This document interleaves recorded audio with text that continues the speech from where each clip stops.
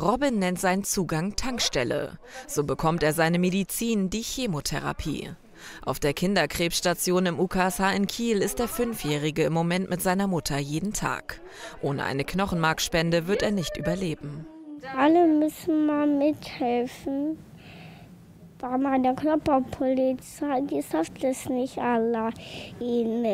Äh, dann brauche ich auch mal Verstärkung. Ihrem fünfjährigen Sohn erklären, dass er Blutkrebs hat, war für Mama Marike Mannebeck hart. Aus dem komplizierten Begriff Immunsystem wurde die Körperpolizei. Mit den Haaren haben wir zum Beispiel auch gesagt, also da hatten wir auch ein Buch hier als Anleitung, dass eben bei dieser Chemo ähm, ja, die Krankheit mit der Körperpolizei kämpft und in diesem Gefecht manchmal das auch passiert, dass halt welche da reingeraten, die gar nicht dazugehören, also zum Beispiel die Haarzellen und dann fallen die Haare aus. Robin hat eine seltene Form der Leukämie. Nur 10 bis 20 Kinder in Deutschland erkranken im Jahr daran.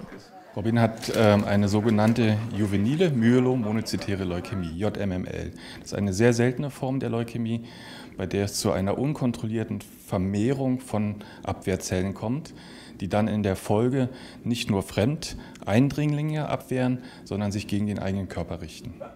Nach der Behandlung mit Papa Fangen spielen, dafür hat Robin noch Kraft. Auch der Appetit ist noch da. Vier Wochen lag der Fünfjährige im Krankenhaus, hat seinen Geburtstag dort gefeiert.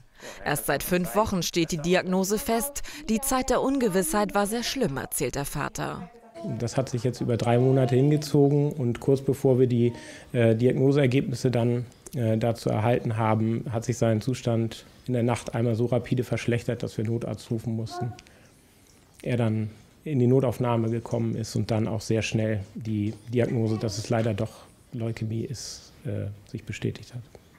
Christoph Mannebeck ist dankbar, dass sein Chef ihn von der Arbeit freistellt. In dieser schweren Zeit ist es den Eltern auch besonders wichtig, andere zu motivieren, sich als potenzieller Spender zu registrieren.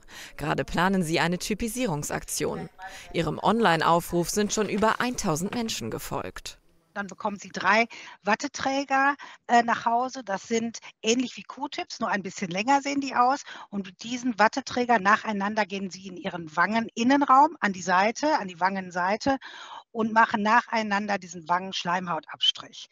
Das wird dann getrocknet und kommt dann in eine kleine Klappkarte und das geht dann direkt ins Labor und wird dann werden dort ihre Gewebemerkmale typisiert.